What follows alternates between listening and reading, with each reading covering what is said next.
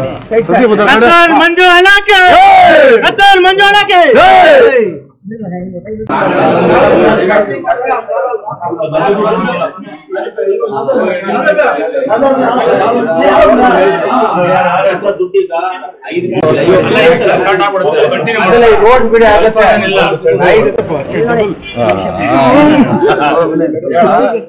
Kolar ನಗರಸಭೆಗೆ minority fund ಹತ್ತು ಕೋಟಿ ವೆಚ್ಚದಲ್ಲಿ ಐದು ಕೋಟಿ ವೆಚ್ಚದಲ್ಲಿ ಆಲ್ರೆಡಿ ಕೆಲಸವನ್ನು ಮುಗಿಸಿದೀವಿ.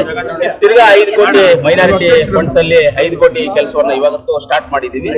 ಈ ರೋಡ್ ಮೊದಲು ಎರಡ್ ಸಲ ಮೂರ್ ಸಲ ಪೂಜೆ ಮಾಡಿ ಬಿಟ್ಬಿಟ್ಟು ಹೋಗಿದಾರಂತೆ. ಎಲ್ಲ ಲೋಕಲ್ ಅವರು ಇರುವಂತ ಹಿರಿಯರು ಎಲ್ಲ ಹೇಳ್ತಾ ಇದ್ದಾರೆ.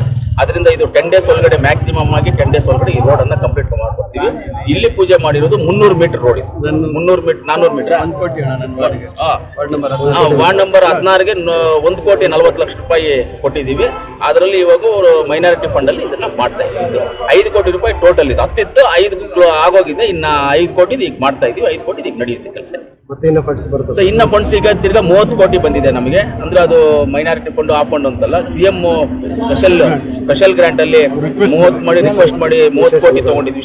ಅಂತ ಮೂವತ್ತು ಕೋಟಿ ತಗೊಂಡಿದೀವಿ ಅದನ್ನ ಒಂದು ಪ್ರೈವೇಟ್ ಏಜೆನ್ಸಿಗೆ ಎಸ್ಟಿಮೇಟ್ ಮಾಡೋದಕ್ಕೆ ಕಳಿಸ್ತಾ ಇದೆ ಪ್ರೈವೇಟ್ ಏಜೆನ್ಸಿ ಯಾಕಂದ್ರೆ ನಮ್ಮ ಹತ್ರ ಇಂಜಿನಿಯರ್ಸ್ ಎಲ್ಲ ಕೊರತೆ ಇರೋದ್ರಿಂದ ಪ್ರೈವೇಟ್ ಏಜೆನ್ಸಿನ ಎಸ್ಟಿಮೇಟ್ ಮಾಡೋದಕ್ಕೆ ಕಳಿಸ್ತಾ ಇದ್ದೀವಿ ಎಲ್ಲ ರೋಡ್ಸ್ ಎಲ್ಲೆಲ್ಲಿ ಡ್ಯಾಮೇಜ್ ಆಗಿದೆ ಏನಿದೆ ಟೌನ್ ಫುಲ್ಲು ಅದು ಮಾಡಿ ಆ ಎಸ್ಟಿಮೇಟ್ ಮಾಡಿದ್ಮೇಲೆ ಫಂಡ್ಸ್ ರಿಲೀಸ್ ಆಗ್ತಾ ಇದೆ ರಿಲೀಸ್ ಆಗಿದೆ.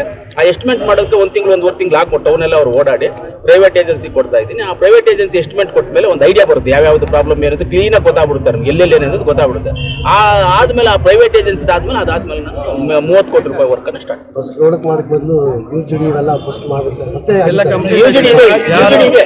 ಇಲ್ಲಿ ಯುಜಿಡಿ ಯುಜಿಡಿ ಎಲ್ಲಿದೆಯೋ ಅಲ್ಲೇ ತಾರ್ ರೋಡ್ ಮಾಡ್ತಾ ಇದೀವಿ ಯುಜಿಡಿ ಇಲ್ಲದೆ ಇರೋದಕ್ಕೆ ಯುಜಿಡಿ ಇಲ್ಲದೆ ಇರೋ ಜಾಗದಲ್ಲಿ ಮಿಸ್ಸಿಂಗ್ ಲೈನ್ ಮೂವತ್ತೆರಡು ಮೂವತ್ತಾರು ಕಿಲೋಮೀಟರ್ ಇದೆ ನಮ್ದು ಮಿಸ್ಸಿಂಗ್ ಲೈನ್ ಆ ಮಿಸ್ಸಿಂಗ್ ಲೈನ್ ರೆಡಿ ಮಾಡೋದಕ್ಕೆ ಪ್ಲಾಂಟ್ ಮಾಡೋದಕ್ಕೆ ಅರವತ್ತು ಕೋಟಿ ಅರವತ್ನಾಲ್ಕು ಕೋಟಿ ರೂಪಾಯಿ ಅನ್ನೋದು ಅದು ಟೆಂಡರ್ ಆಗಿದೆ.